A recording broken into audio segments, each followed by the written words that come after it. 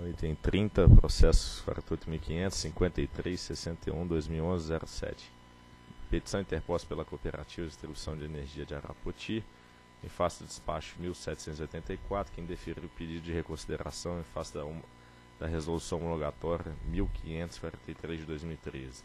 Diretor relator, doutor André Peptoni.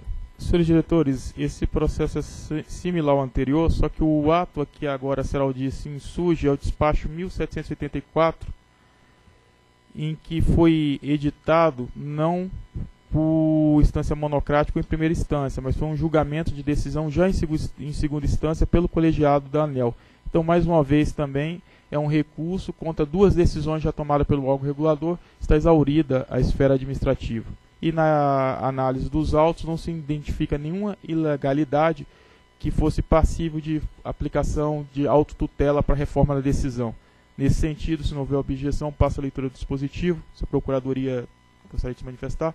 Então, a partir dessa argumentação e das considerações apresentadas no processo 48.500.005361-2011, dígito 07, voto por não conhecer do pedido de reconsideração interposto pela Seraldis em face do despacho 1784 de 2014, haja vista que está exaurida a esfera administrativa. Em discussão, em votação, eu voto com o relator. Também voto com o relator. Proclamamos a decisão da diretoria por não conhecer do pedido de reconsideração interposto pela Cooperativa de Distribuição de Energia Elétrica de Arapoti, em face do despacho número 1784, de 10 de junho de 2014, haja vista que já exaurida a esfera administrativa.